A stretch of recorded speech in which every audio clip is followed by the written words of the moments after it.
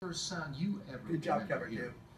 Well, as my brother was stated, um, coming from the Caribbean, I remember going to the beaches down in Panama, and the hitting of the waves, that was a constant sound that was so soothing and gave me some pleasures in just listening and feeling.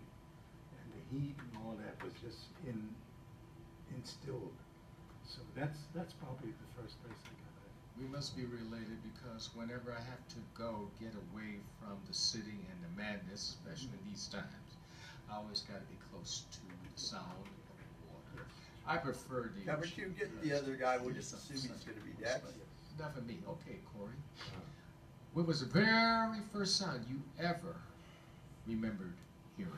You know what? That's tough. Um, to me, it it feels like uh, my memory of his voice. Was uh, mother's voice, father's voice, and I remember gentle singing. gentle singing and your mother's voice. That's very good.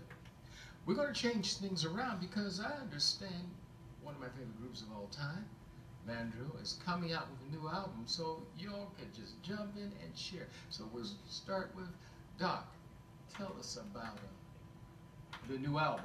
It's a very, very Name. special, very special time. I'll be, Good job. Uh, first of all, we want to give thanks to you for having us uh, back on Sounds Within.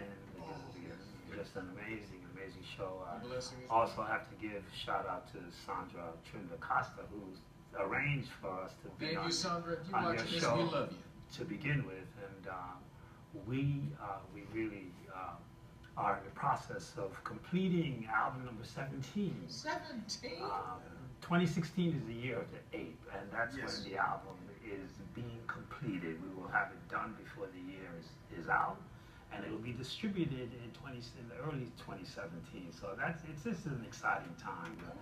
We're getting coming back to real music, introducing our audience to real, real music, and it's uh, it's a very special special time, particularly in the days. Uh, that we are dealing with the, the troubled times. You Oh, know, yes. music has to be healing, and Music Mandrill is- music is healing, and Yes. uh, we, we plan to to bring it full force. You always brought real music. One minute.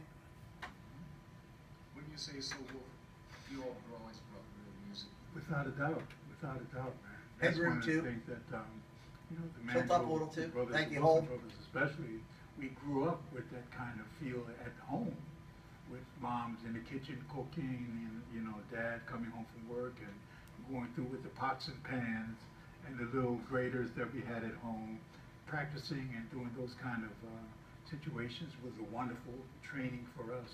Real instruments at home Yes. always began with pots and pans. That's right. That's right. Thirty seconds. Well, we're gonna take a little PSA break, breathe, take care of business. When we come back, we're gonna find out